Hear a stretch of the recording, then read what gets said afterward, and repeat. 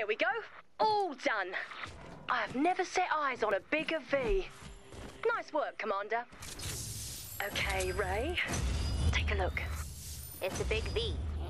For your friend. It's not much. It's perfect.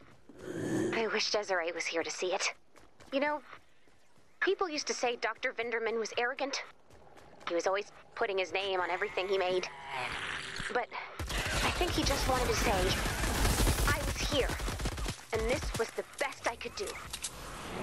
Thank you, you guys.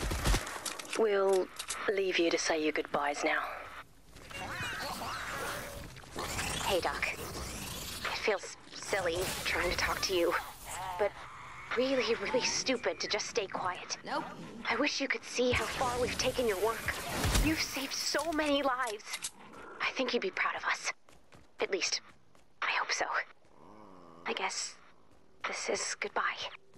No, there is much more to see. SeeBot, please, not now. Oh, I on. am seeing. SeeBot, knock it off. Ow, my eye. That's it. I'm turning you off.